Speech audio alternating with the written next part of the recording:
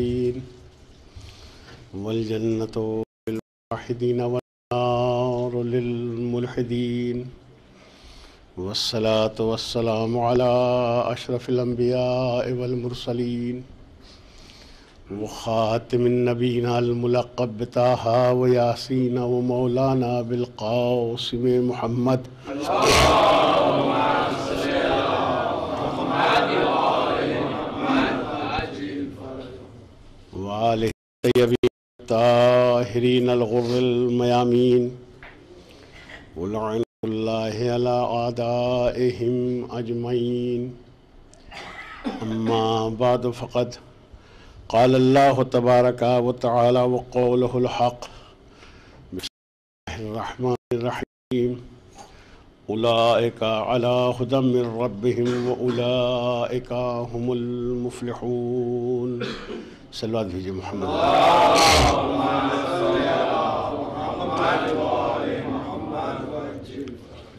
सूरह बकरा की आयत जिसकी तिलावत की सादत हासिल की है। इसी के में मैंने अब तक जो कुछ अर्ज़ किया, उससे मैंने जो कुछ अर्ज़ करना चाहा है, उसका मुद्दार खुलासा यह है कि हमारा सारा जो भी हम अमल अंजाम देते हैं बनाम दीन, न मज़हब। वो सिर्फ़ इसलिए है कि हमारी निजात और हिदायत हो। और हमारा परवरदिगार हमसे खुश हो। किसी भी मोमिन का दीन में उतना ही हिस्सा है जितना उससे खुदा खुश है।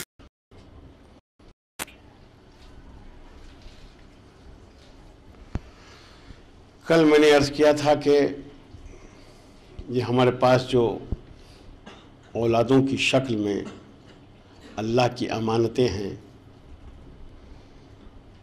उनकी तरबियत हमारी अहम ज़िम्मेदारी है। इसलिए कि हमारे पास जो विरासत है तो ये हमारे बाद वालों के लिए भी उसी तरह विरासत है जैसे हमें मिली है। उसको खालिश बाकी रखना और आने वाली नस्लों तक पहुंचाना, ये हमारी ज़िम्मेदारी है।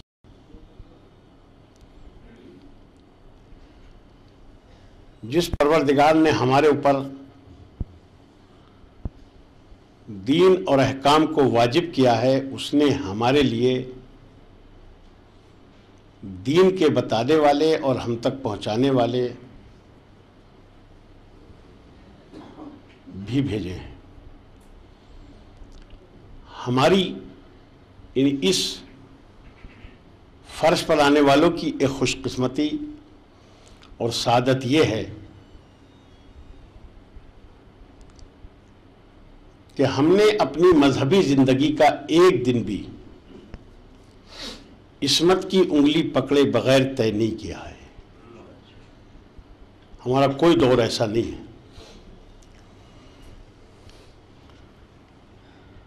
बाद नबी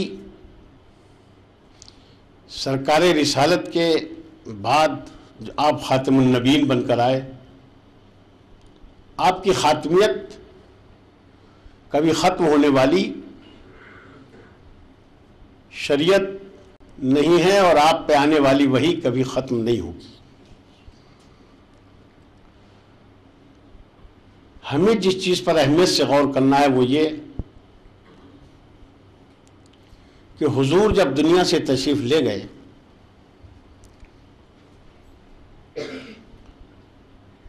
और उन पर जितनी वही नाजिल हुई थी,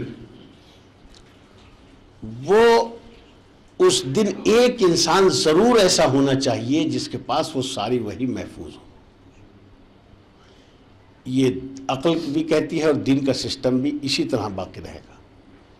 आप इस पर तवज्जो दें, मैं इसी पर बुनियाद आज के बयान की आप तक पहुंचाना चाहता हूँ कि जो वही आई, जितना भी दीन नबी पर आया, वो किसी एक शख्स को ज़रूर मालूम होना चाहिए, वरना दीन बच नहीं सकता। चुनाचे जिन्हें के पास सारा दीन था। उन्होंने दीन बचाने के लिए इसीलिए वहाँ तक कुर्बानियाँ दी, जहाँ तक हमारी सोच नहीं जा सकती। वरना जैसे निज़ाम सहावियत निज़ाम को कहते हैं, उन्होंने इस तरह की कुर्बानी कभी दीन बचाने के लिए नहीं दी कि जहाँ उन्हें अपना सब कुछ देने की बात आई हो तो तो ज़िंदगी रसूल ही में ऐसा ना कर सके, बाद रसूल कौन रोकने वाला था? आप पहुँच रहे हैं ना वहाँ तो हमारे सामने सबसे पहले जो जात आती है, वो मौलाए कायनात की है।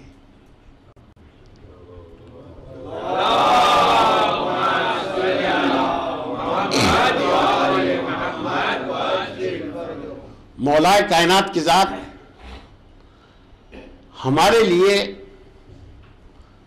ये बात दुनिया जानती है।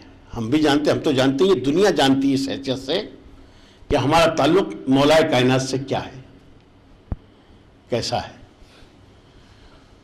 बहमदिल्ला बिल्कुल सीधा ताल्लुक है हमारा अली से, इसमें कोई हेर फेर होकर रास्ता नहीं जाता, बिल्कुल सीधा सीधा जाता है। मैं आज आपकी खिदमत में यही अर्ज़ करूँगा कि मौलाए कायनात कि ज़ात हमारे लिए किस तरह काबिल फ़ख्र है। हमें मौला कायनात को समझना होगा। अली कैसे थे? अली क्या थे? अली कैसे जीते थे? ताकि हम भी जी सके। अली रास्तों में भी चलते थे। अली मैदानों में भी आते थे। अली माशरे में भी आते थे।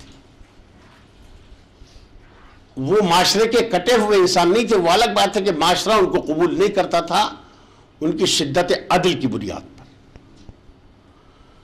चूँकि अली कभी समझौता करने वाले नहीं थे। और अगर हमारे जहन में ये बात महफूज है तो आज भी ये बात महफूज होना चाहिए, ना कल अली ऐसे थे, ना आज अली ऐसे। ये नहीं कि वो चले गए तो हम शायद उनका मिजाज या तबीयत बदल गई है, नहीं। अली कल भी ऐसे ही थे और आज भी ऐसे ही है। आइए तो बगैर किसी और मजीद तमहीद और घुमाने के मैं आज मौलाए कायनात की ज़ात पर और उनकी शख्सियत पर बात करना चाहता हूँ कि अली दीन को कैसे पहुंचाते थे और उन्होंने दीन को कैसे बचाया।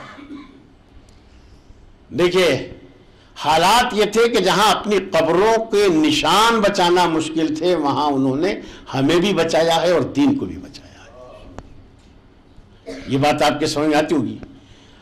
अली की कि जनाजे का कुल मजमा ज़्यादा से ज़्यादा नौ और सात आदमी बताए जाते हैं। तो इस दुनिया से आपको ऐसी तो ना करें। अली के जनाजे का मजमा मालूम है आप अली जैसे इमाम के लिए न सात और न नौ। लेकिन अगर वो मजमा अली को पहचानने वाला था तो पहचानने वाले जितने भी हों, कम नहीं होते, वो बहुत होते हैं। अब देखिए, अली को जिस धारे से अलग किया गया बाद नबी, कितने दिन अलग रखा? 25 साल पूरा। कितना? 25 साल। 25 साल में सब कुछ बदल जाता है। अगर जवान है 25 साल का तो 25 साल में 50 साल का हो जाता है, उसकी तबीयत बदल जाती है, सोच बदल जाती है, उसका रहने का ढंग बदल जाता है, हर चीज़ बदल जाती है। लेकिन ये वहाँ बदलता है जिसके लिए दीन अपनी आदत होता है। अली की आदत नहीं थी दीन। अली, जिस तरह अगर उनकी आदत होती तो जैसे 22 और 20 22 साल की उम्र में आपने बद्र में ओहद में तलवार चलाई थी, सिफीन में भी वैसे ही चलाई। जिससे हमें यह समझने में मदद मिलेगी कि अली हालात के तहत अमल करते थे दीन पर, कि उस वक्त दीन उनसे मुतालबा क्या कर रहा है। बस आइए। अली की सीरत का कितना खुशगवार पहलू है, कितना रंगीन है, कितना हसीन है वो पहलू। कि जहाँ से आप समझेंगे कि अली ने हिजरत की रात बिस्तर नबी पर सोकर जिस तरह नबी की जान बचाई, ये कहने को नबी की जान है, पूरा दीन बचाया था उसने। खाली नबी को नहीं बचाया, बल्कि पूरा दीन बचाया था। इसलिए कि हर मार का ऐसा था, अगर उसमें इस्लाम कमज़ोर पड़ जाता तो इस्लाम वहीं दब के बैठ जाता। अली ने कितने आसान रास्ते से सफ़र किया है? तो इसलिए मैं कहता हूँ, आओ, गौर करें, फ़िक्र करें अली के बारे में, कि अली कैसे थे। हिजरत की रात, कुफार ने नबी का घर घेर लिया है, इसलिए कि आज बस ये आखिरी मरहला है। और घर ऐसे घेरा है कि अरब के जितने कबीले थे, सबका एक एक शख्स ऐसा कि जो हट्टा कट्टा जवान। सिर्फ़ जवान हो, नतीजे को सोचने की सलाहियत न रखता हो और वो हमला करते। इस सिलसिले में हमें सूर्य अनफाल की आयत पूरा इसका वो देती है कि क्या हुआ, कैसे हुआ। रहीम इस यम करो बेकल लदीना कफरू का और यकतलू का और युखरजूक। ए मेरे नबी इस यम करो बेकल लदीना कफरू, आप उस वक्त को याद कीजिए जब काफिर आपके बारे में रिशा दवानियाँ अयारियाँ मक्कारियाँ कर रहे थे। और वो सोच ये रहे थे लयस बितू का, या तो तुम्हें किसी काल कोठरी में डाल दे क्या आप को पकड़ कर कोठरी में बंद कर दे। और युख्तलू का, या तुम्हें कत्ल कर दे। और युखरजू का, या तुम्हें देश निकाला दे दे। ये तीन प्रोग्राम बैठे बना रहे थे और ये तफसीरों में है और सुन्नी शिया सबने लिखा है।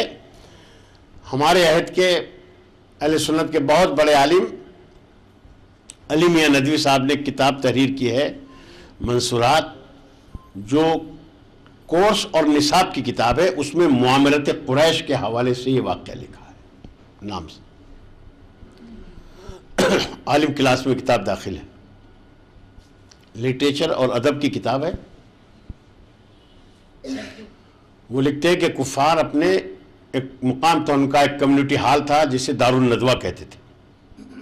जब उनका कोई अहम मसला होता था, उसी में जमा होते थे और वहाँ बैठ के मसाइल को हल करते थे। आज का जो मजमा था, उसकी क्वालिटी उन्होंने ये लिखी है कि उसमें 40 साल से कम इंसान की नो एंट्री थी, नहीं आ सकता था। यानी वो आएगा जो कुछ सोचने और करने की सलाहियत रखता है। पूरी क्रीम इकट्ठी थी, भरा हुआ था हाल। और जैसे ही भरा हुआ था हाल, वहाँ पर एक बूढ़ा आया। लाठी टेकता हुआ और आके वहाँ दारुल नदवा के दरवाजे पर आकर खड़ा हो गया। खड़ा हुआ।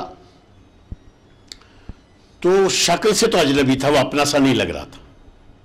लेकिन जो लिबास उसने पहना था, वो वही था जो अरब के शुयूख और बड़े लोग पहनते। जैसे अबू लहब, अबू जहेल, अबू सुफियान और दूसरे अबू पहनते थे उसने ऐसे लिबास पहना। क्योंकि किसी माशरे में नफूज और दाखिले के लिए लिबास बहुत मददगार साबित होता है। लिहाजा हमें भी समझना चाहिए, खाली लिबास के चक्कर में नहीं आ जाए। क्योंकि उन पर तो टोपी है, शेरवानी है अमामा है, ये है, वो है। ये कुछ चीज़ नहीं होती, ये बाज़ार में मिलने वाली चीज़ें हैं। टोपी भी मिल जाती है, कपड़ा है, शेरवानी भी सिल सकती है अमामा भी, ये कपड़ा भी बाज़ार में मिलता है ये सारा। इसमें आप ना रहे, ये कहीं और से मिलता है, कहीं ऊपर से आता है, ये वही के ज़रिए से, ये सब मिलता है। तो उसने हुलिया वही बनाया ताकि आके खड़ा हुआ। तो चूँकि शक्ल अजनबी थी, मगर लिबास वैसे ही था जैसे पहनते थे, इसलिए नज़र उठ के गई तो उसी पे ठहर गई। और लोग पूछने पे मजबूर हुए, जनाब कौन है? नदी साहब ने लिखा दिया पूछा ये कौन है? आप कौन है? अब कोई नहीं, मैं तो ऐसी तजर्बेकार बूढ़ा इंसान हूँ, सोचा आप परेशान हैं, अगर मेरे फायद, तजर्बे से और मेरे एक्सपीरियंस से आपको कोई फ़ायदा शायद पहुँच जाए तो मैं आपकी मदद कर दूँ। तो लोगों ने कहा कि फिर आइए, अंदाजे वहाँ क्यों खड़े हैं आप? और कहा वो शैतान था। तो उससे इतना कहना, आ जाइए, वो तो बगैर कहीं आया, आता है। उससे कह देना कि, आ जाओ, फिर आप उंगली पकड़ा दीजिए, गट्टा तो था ही लेता अब फ़ौरन आ गया अंदर। तो उससे मालूम क्या जनाब, कहाँ के हैं? रहने वाले कहाँ के? अब शैतान से पूछना, कहाँ के रहने वाले हैं? वो तो जहाँ उसका कारोबार चलता है, वही रहने लगता है।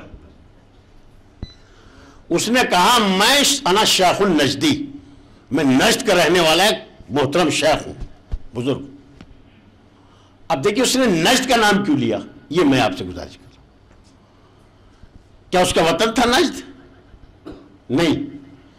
वो इशारा देना चाहता था कि शैतान के सींग नजद ही से बरामद होंगे, कल को भी। ये अब्दुल वहाब, जिन्होंने वहाबी मज़हब चलाया, कहाँ के थे? नज़दीक तो थे इसलिए उसने कहा कि मैं नजद का हूँ तो उसने कहा कि आपकी परेशानी क्या है? तो हुजूर अपने साथियों के साथ मुकाम इब्राहिम पे तशरीफ़ फरमाते, उसने इशारा करके लोगों ने कहा, देखो, इन्हें देख रहे हो जो बैठे हैं? कहा कहा हम ही में पैदा होने वाला एक यतीम है। लेकिन इसकी बात इतनी जादिब है, जिससे जो कहता है, फिर वो सुनता है, और सुनता है तो फिर वापस नहीं आता है। इसी का हो जाता है। चुनाच इसने हमारे घर घर में इंतशार इफ्तराक डाल दिया है। और आलम यह है कि बेट इधर है तो बाप उधर है, भाई इधर है तो दूसरा भाई उस तरफ़ है। चचा इधर है, भतीजे उधर हैं तो यानी घर घर में किसने इंतशारी कैफियत पैदा की और हम इसलिए जमा हुए ताकि आज इससे आर पार की हो जाए बस। आखिरी मरला कहा तो तुमने सोचा क्या है? जो सोचा था वो कुरान ने बताया, मैंने बताया ना आयत। वो यम कर बेकल लदीना कफरुलतों का यकतलू का यखरजू का वो ये सोच रहे थे, उन्होंने कहा कि एक ने खड़ा हुआ, उसने कहा कि मैं ये समझता हूँ कि इनको काल कोठे में डाल दिया जाए। थोड़ा थोड़ा पानी दिया जाए, एक दिन दम तोड़ देंगे, मर जाएँगे। शैतान ने कहा, नहीं, ये राय ठीक नहीं है। बनी हाशिम इतने कमज़ोर नहीं कि अपने एक आदमी को यूँ में दे देंगे और छुड़ा के ना ले जाए। तो एक और खड़ा हुआ, उसने कहा, मेरी राय यह है कि इनको कत्ल कर दिया जाएगा, फिर वो अपना खूब बहा मांगेंगे और बनी हाशिम फिर तलवार लेके आएँगे। ये राय भी ठीक नहीं। तीसरे ने कहा कि इनको यहाँ से जिला वतन कर दो, देश निकाला दे दो, जहाँ भी जाए। उसने कहा, ये अपनी मुसीबत दूसरों गले में क्यों डालते हो तुम? जिससे तुम परेशान हो, जहाँ जाएगा, वहाँ भी यही करेंगे। और जब करेंगे तो जैसे आज लोग इनके साथ है, कल को इकट्ठा करके फिर तुम पे हमला करेगा। और जैसे तुम आज निकाल रहे हो, कल को तुम्हें इसी तरह से यहाँ से निकालेगा, उसकी बात गलत नहीं, फतेह मक्का पे बिल्कुल यही हुआ। कहा तो जब हमारी सबकी गलत है तो आप बस इतना कह रहे थे कि उसने एक आदमी के अंदर हलूल किया हुआ अदबा भी नबी जहल था, वो खड़ा हुआ। और उसने कहा, मेरी राय यह है कि हम जितने कबीले वाले हैं एक एक जवान सब में से ले लिया जाए। और वो जाके रात को हमला करके एक साथ जब चालीस तलवारें पड़ेंगी तो बने हाशिम की तलवारें इतनी तेज नहीं है कि इनसे मुकाबला कर सके। बात शैतान ने पीठ थपथपाई, कहा, ये राय बहुत साहिब है। राय पास हो गई। और अंधेरा होते ही जाके नबी का घर कुफार ने घेर लिया। और जब घेर लिया तो कुरान कहता है और जो खरजू का निकाल दो, देश निकाला दे दो कत्ल कर दो। यम करून व यम करुल्लाह, वल्लाह खैरुल माकरीन। अभी ये मकर और मक्कारियाँ कर ही रहे थे कि अल्लाह ने भी उस तदबीर का जवाब दिया। और नबी से कहा कि नबी, आपका घर घेर लिया गया है, आप फ़ौरन यहाँ से चले जाइए, लेकिन ये घर आपका नहीं है, ये नबूत का है। लिहाजा इसको एक दिन के लिए भी बगैर किसी जानशीन के नहीं छोड़ा जा सकता। आपका घर है तो ठीक है, आप चाहे जो करें। लेकिन ये घर आपका नहीं है, ये नबूत का घर है। लिहाजा इस छोड़ कैसे नहीं जा सकते। तो अगर एक रात के लिए नहीं छोड़कर जा सकते तो नबी बिल्कुल जाएँगे तो ऐसे कैसे इस घर को छोड़ के चले जाएँगे कि यहाँ पर कोई उम्मत का आए और पूछने के लिए और उसे कोई बताने वाला ना मिले? हो गया? आ गए? ये तमीद थी। अब मैं आपसे अली के बारे में गौर फ़िक्र की बात करना चाहता हूँ कि अली कैसे थे। नबी देखिए बनती कैसे है तारीख? किरदार ढलते कैसे हैं? अली किस तरह से लायक पैरवियों क्यादत हैं? नबी अली को बुलाते हैं और बुला के कहते हैं कि मैं जा रहा हूँ, घर घेर लिया गया है। लिहाजा आप मेरे बिस्तर पर सो जाना। मसला ये नहीं था कि लेट जाना। मसला यह था कि सो जाना। आज लेटने वाले की ज़रूरत नहीं थी, आज उसकी ज़रूरत है, जो नबी कहे वो करके दिखाए। बात सोने की है ना? ये नहीं कि लेटने की है। अब अली क्या फरमा अर्ज़ करते क्या मौला, मैं ऐसा करूँ तो आपकी जान बच जाएगी? कहा ऐसे? अली ने इन्हें कहा, मेरा क्या होगा? मेरा क्या होगा? ये अली ने का ना ये कहा कि सरकार, जहाँ आप जा रहे हैं, वहाँ मुझे भेज दीजिए। अली बाईस साल से भी कब के हैं उस दिन? मैंने भी देखा क्या दुनिया में? आपका घर है, आप घेरिए और मुझे जाने दीजिए। मैं वहाँ चले जाऊँगा जहाँ आप जा रहे हैं। लेकिन जो नबी को मशवरा दे, वो नबी के बाद दिन नहीं बचा सकता। वो नबी को मशवरा देने वाला कौन होता है? अब ये कि इस सिलसिले में जो आयत आई है, वो उमिनन्ना से मैया श्री नफ्समरवातिल्ला ये सूरह बकरा की दो सौ सातवीं आयत है। लोगों में से ऐसे भी हैं जो अपने नफ्सों को बेच डालते हैं रजाय परवरदिगार हासिल करने के लिए। अब अली ने वो रास्ता बताया है, वो चीज़ बताई है जिससे चल के बंदा खुदा तक पहुँचता है। मिनल नास। हम सब नास हैं। जो नहीं वो भी नास इंसान लोगों में से। यानी इसका मतलब ये आज की रात अली ने ये काम मोजे से नहीं किया है। क्या आपने वाली तो मुझे जुलमत है हम कर ही नहीं सकते कुछ? मोजे से नहीं किया। ये अली की खाली सीरत का वाक़ है, किरदार का वाक़ है। अली की उस बेजिगरी का रास्ता है ये, जहाँ से कोई इंसान भी चल सकता है। मैं नहीं कह सकता कि आप अली हो जाए आप हो कह सकते, इसलिए कि अब कोई आपको हिजरत की रात नबी बुला के आपसे कहे कि मेरे सो जाइए बिस्तर पे। तो मेरे जैसे दूसरा आदमी बहुत थे। खाली मसला ये नहीं था कि मुझे जाना है और जो मिल जाए अली सामने आ गए मसल तो उससे कह दिया कि आप लेट जाइए, फुला से नहीं। ऐसा नहीं था कि कोई हौल होता तो उससे कह देते। सोना अली को था, इसलिए कि कुरान कहता यज यम करो बेकल लदीन कफरू। काफिर मक्कारियाँ कर रहे थे और काफिर इधर से कर रहे थे, उधर से खुदा कहता यम करू ना यम करुल्ला इधर से अल्लाह ने भी तदबीर की। तो आज की रात अली के लेटने की रात नहीं है, ये रात अली के तदबीर इलाही बन के उभरने की रात है। और ये हमें बताया जा रहा है कि खुदा भी तदबीर करता है तो बजरिए अली करता है। तुम भी करो तो बजरिए अली करो।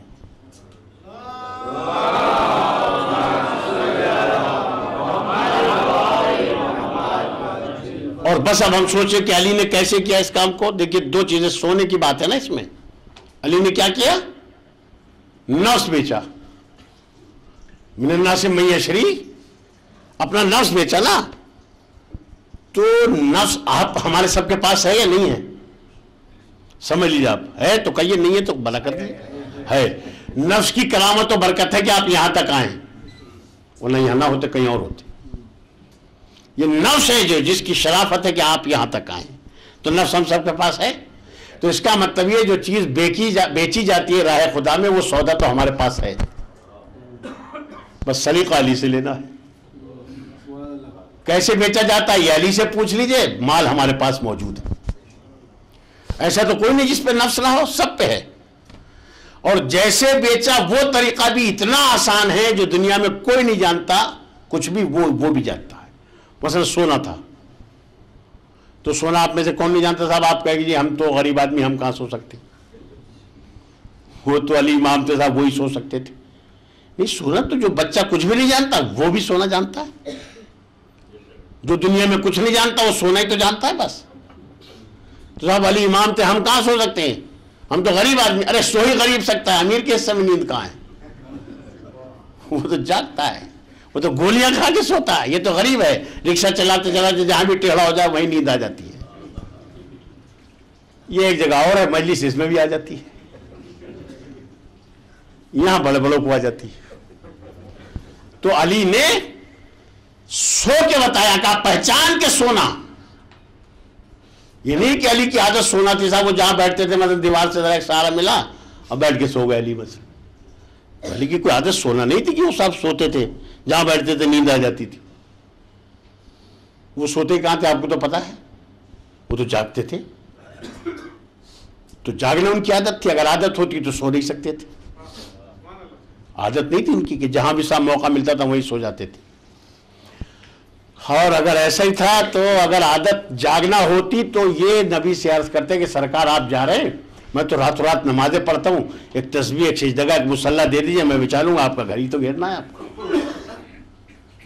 मगर फिर मैंने अर्ज़, पहले अर्ज़ किया ना जो अली को मशवरा दे जो नबी को मशवरा दे वो नबी की हिफाजत भी नहीं कर सकता और शरीयत भी नहीं बचा सकता। कहा तो मैं सो जाऊँगा। अब देखिए, यहाँ दो बातें बात करता हूँ। जब नबी जा रहे थे तो अली के जिम्मे काम क्या किया? दो काम आए। एक तो नामूस का मसला था। काफिल फवातिम अली के जिम्मे किया। काफिल फवातिम जाने जो फातिमा तुमा थी मसल फातिमा बिनते मोहम्मद, आपकी बेटी। फातिमा बिनते असद अली की वालिदा। फातिमा बिनते हमजा हमजा की बेटी, फातिमा बिनते जुबैर और और। तो ये खवातीन थी जो को लेकर अली को जाना है, ये भी उनके जिम्मे किया है। अब घर में आप किसे सुला सकते हैं? आप खुद जानते हैं। कम से कम इतना भरोसा तो हो जितना अपने ऊपर होता है। नबी को इतना भरोसा सुला दिया। दूसरी ज़िम्मेदारी ये थी कि नबी के पास चूँकि आप अमीन थे और सादिक थे, लोग लाके अमानत रखते थे। अमानतें दे के आना। देखिए, मेरा मुताला कोई बहुत ज़्यादा नहीं है, मैं कोई पढ़ा लिखा ज़्यादा आदमी नहीं हूँ, लेकिन हाँ एक दो घंटा किताब देखता हूँ, कोशिश करता हूँ, लेकिन मुझे ये रिवायत मिली नहीं है। आप में जिसको मिल जाए? अगर मिल जाए तो फिर ये शराफत इलमी है कि उसको राय को बदला जा सकता है। लेकिन मुझे मिला नहीं है कि नबी ने चलते वक्त ये कहा कि, अली, देखो, ये अमानत इतने तो अबू लहब के रखे, इतने अबू जहल के रखे, इतने फुला अबू के पैसे रखे, ये अमानत है, इन्हें दे के आ जाना। ना तो तफसील बताई और ना ही हुजूर के हिजरत कर जाने के बाद मक्के में कोई आवाज़ बुलंद हुई कि चले तो गए हमारी अमानत नहीं देकर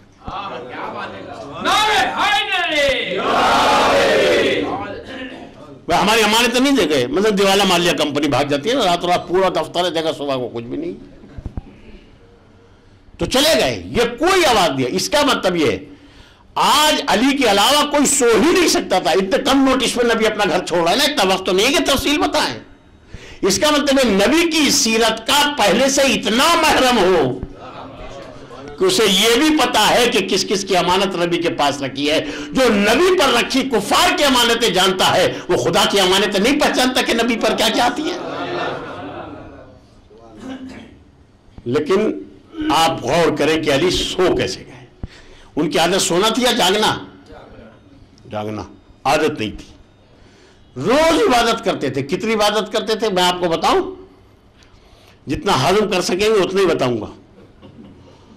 इसलिए कि अगर अली के बारे में कोई ओहो कह दे तो ये बहुत मुसीबत है। शिया को ओहो नहीं कहना चाहिए अली के बारे में। देखिए, ये तकबीरतुलहराम जो होती है ना, ये नियत से मिली हुई। एक मसले बता दे, क्या लगे हाथों? हालाँकि बड़ा मसला है ये, मसला बताना। एक जगह तो हमने मसले बताए दो तो कहने लगे, लोग अब तो हद ही दिए मिम्बर से मसले बताने लगे। ये ये सबसे बड़ी मतलब इस कौम की, किसी कौम की सबसे बड़ी मुसीबत हो सकती है कि जहाँ मसाले शरीयत बताए जाए रोकेंगे लोग तो अब मसले बताने लगे। ये क्या बताए?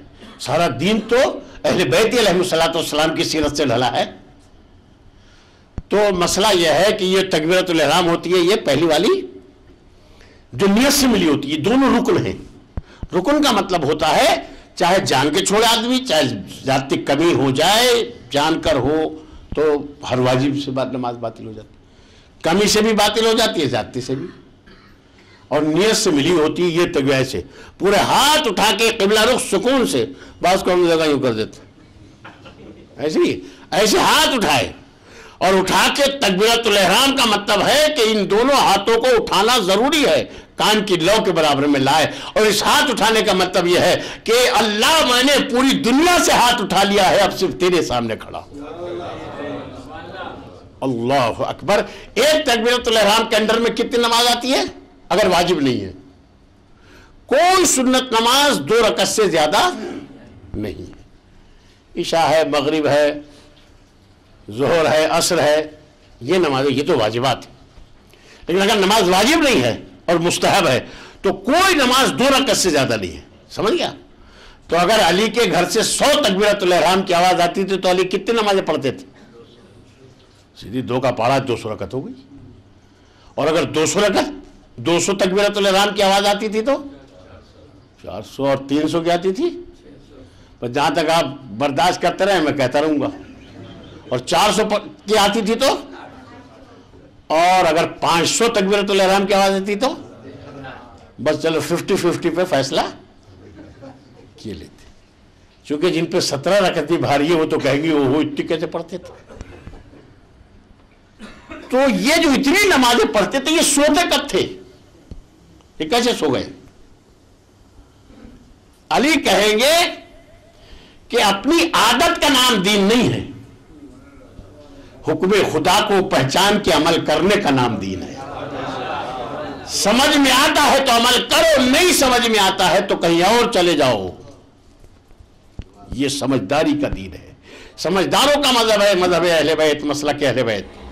अली ने उस रात पूरी रात जाग के इबादत परवरदिगार अंजाम दी। हैं? या सोकर सोकर तो सो गए। तो सो गए तो नमाजें तो नहीं पढ़ी? या पढ़ी फिर भी? नहीं पढ़ी। ये मजलिस थोड़ी कि सो के भी सुन ली जाएगी? ये तो नमाजें जाग के पढ़ी जा सकती तो नहीं कि सो ले, चलो, अब करते बाद ममनीन थोड़ा सा, ज़रा से इधर को हो गया, गर्दन ढलक जाती है, खुद ज़रा सा लंबा हो गया टूल गया जुमे का। तो ऐसा ये जाग के नमाज़ हो सकती है। सो के नहीं हो सकती तो जब नमाज़ नहीं पढ़ी, सोए तो नमाज़ नहीं पढ़ी? नहीं पढ़ी ना?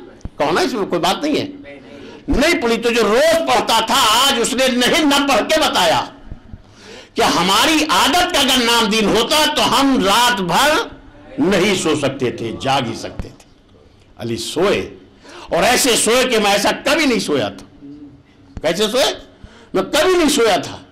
तो सोए, नमाजें नहीं पढ़ी ना? नमाजें नहीं पढ़ी। सो के वो अमल किया, जो नमाजों से भी भारी हो गया।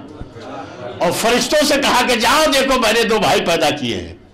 और अली ने सोकर ये बता दिया, ये कोई मसलक नहीं है कि नमाज़ सोने से बेहतर है। जो कहते ना सला तो खैर में इसका तो दीन में गुंजाइश ही नहीं है। ये दीनी फ़िक्र ही नहीं है कि नमाज़ सोने से बेहतर है। जो हुक्म खुदा हो, वो बेहतर है। अगर जागने का हुक्म है तो जाग जाओ, और सोने का हुक्म है तो सो जाओ।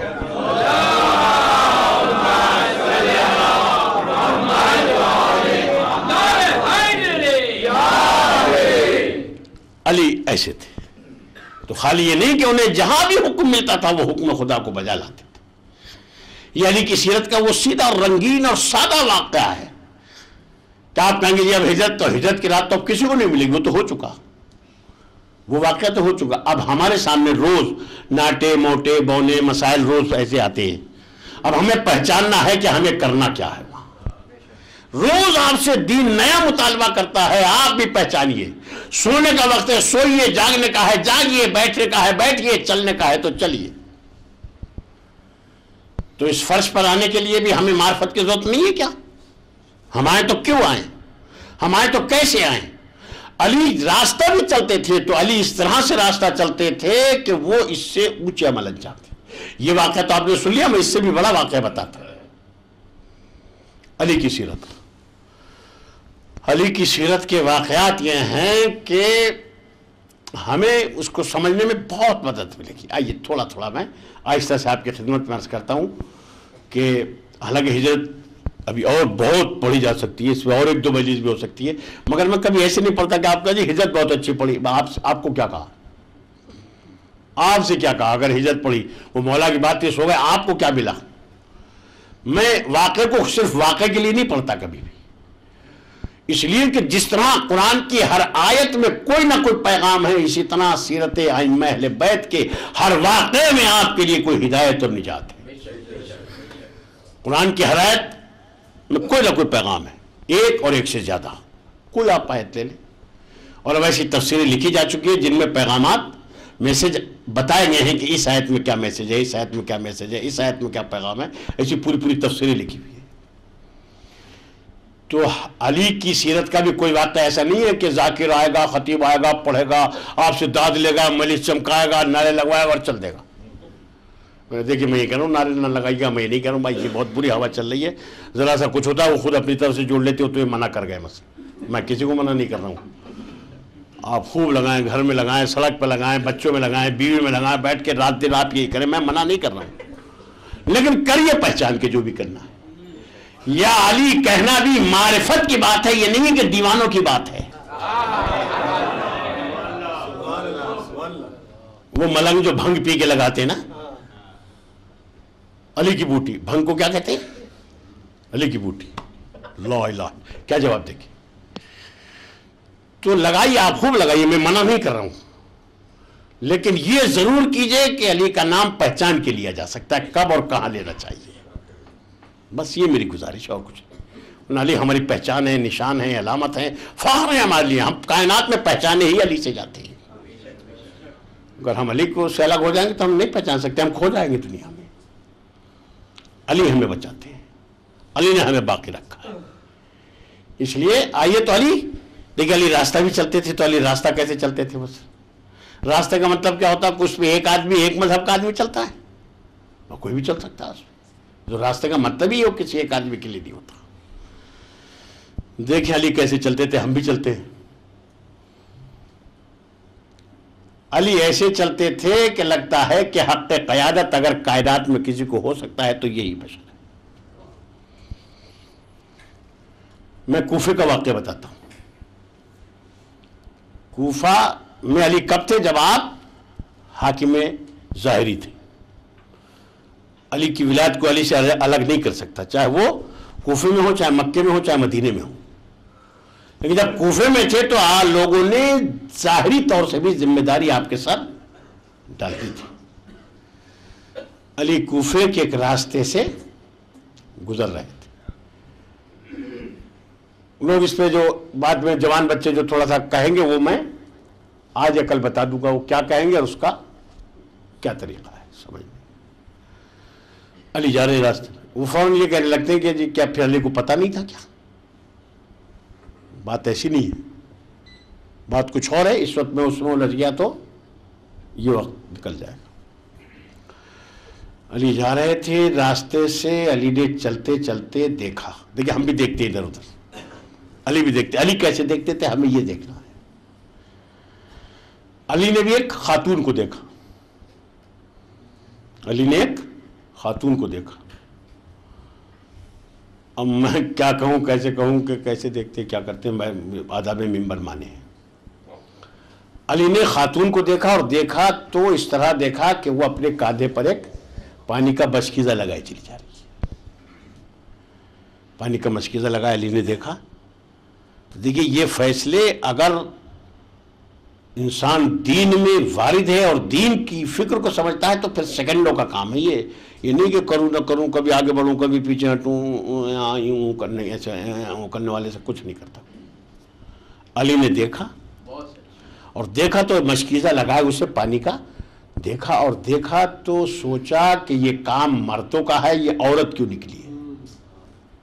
माशरे पे जो इतनी निगाह रखे, हसास, वो होता कायद, वो होता रहबर हादी माम देखा और देख के फ़ौरन उसके पास गए और उसने कहा, बीवी,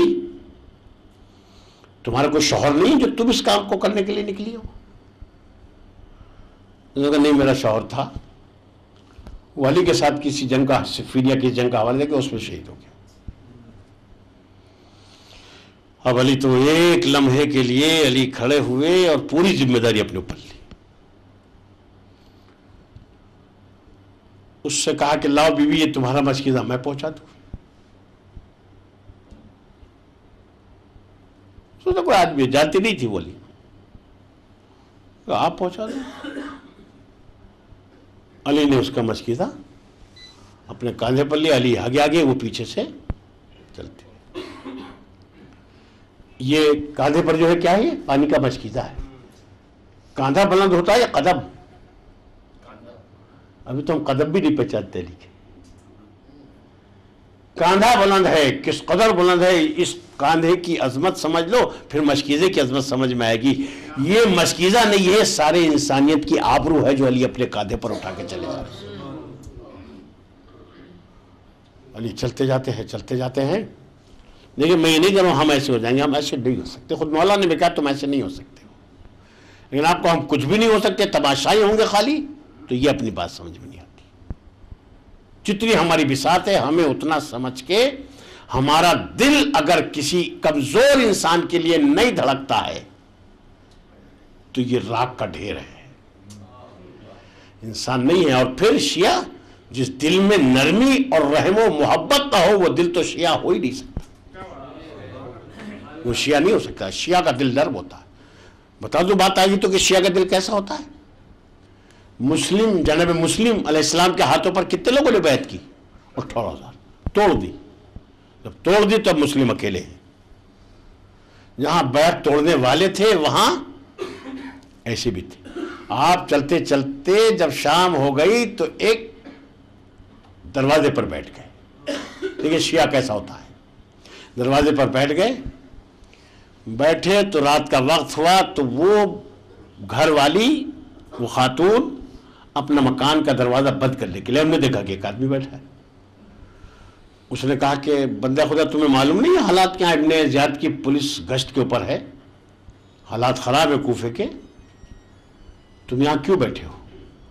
तो जनाब मुस्लिम ने कहा कि, मैं प्यासा हूँ। क्या हूँ? प्यासा हूँ। ये सब नहीं पता ये कौन है? वो तो एक प्यासा इंसान समझ के घर में गई और पानी ले आई। शिया किसी को परेशान देख ही नहीं सकता। पानी ला के दिया। जब पानी पी लिया जनाब मुस्लिम ने तो उसने कहा कि अच्छा चाओ तो पानी पी लिया। तो मुस्लिम उठे घुटनों पे हाथ रख के तो फिक्रा कहा, बीबी, वो कहाँ जाए जिसका घर ही ना हो? आपका घर नहीं है? कहा, नहीं, हम यहाँ के रहने वाले नहीं हैं। कहा, फिर हम तो मदीने के हैं। मदीने का नाम लिया तो बुए कराबत आने लगी उससे फ़ौरन। शिया का तो दिल धड़कता है शियात के लिए।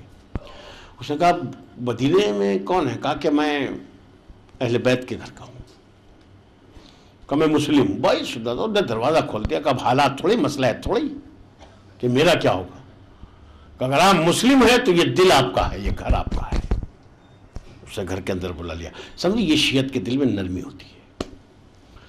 अली मशकीज़ा लेके चले और चले तो घर आ गया, घर आया तो देखा तीन बच्चे यतीम घर में। अब सामने मसला है ना, ये बच्चे यतीम है तो ये तीन दिन के भूखे भी हैं।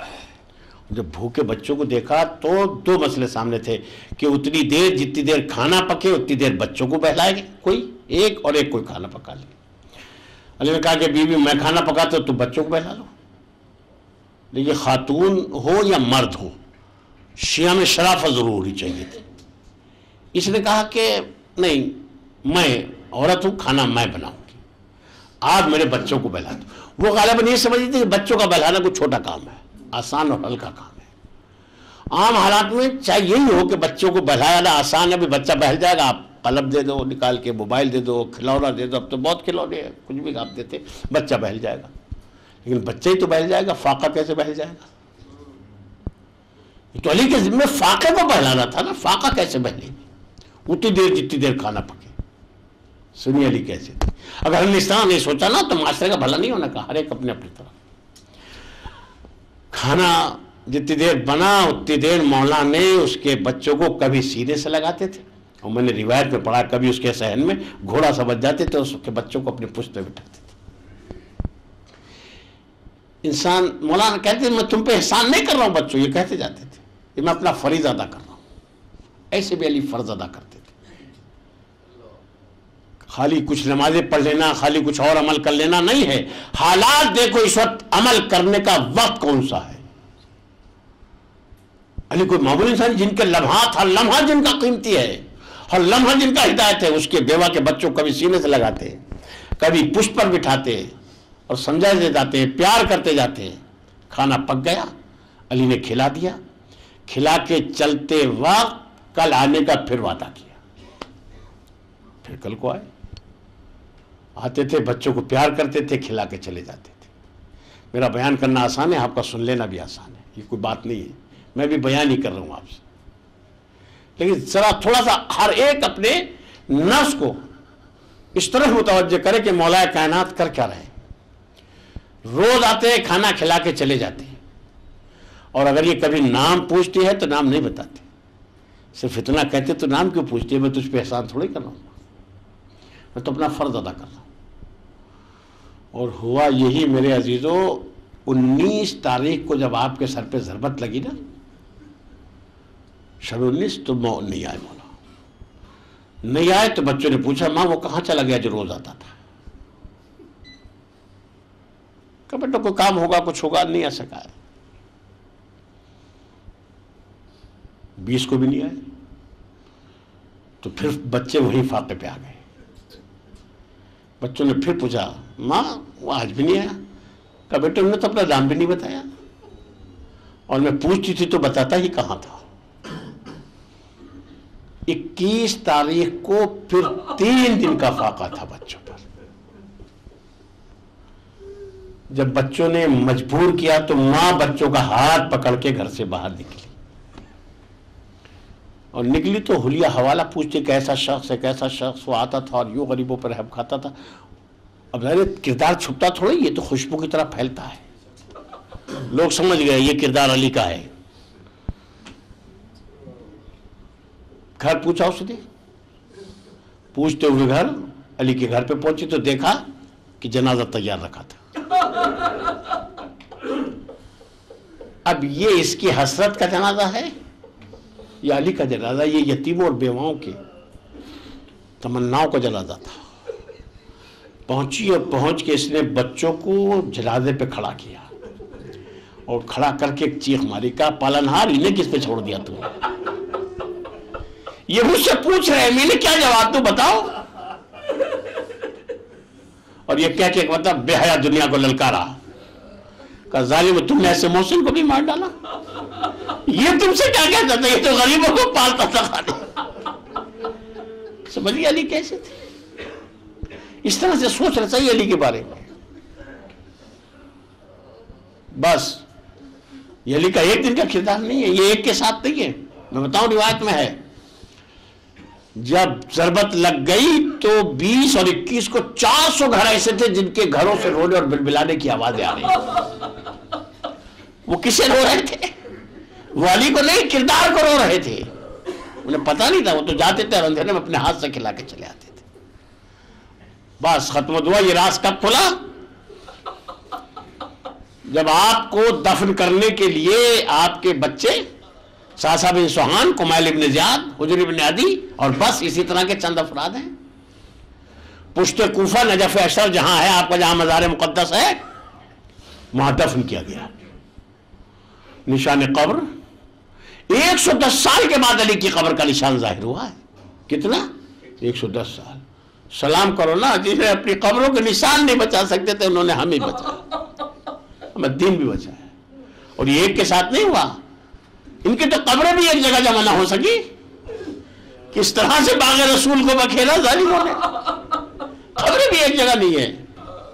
क्या ये नहीं चाहते कि नाना के पहलू में दफन हो सब अगर ऐसा बखेरा है कि दुनिया में कोई मशद में, कोई काजमैन में, कोई करबला में, कोई नजफ में। दफन करके उनके बच्चे पलट रहे थे, बखत्म दुआ।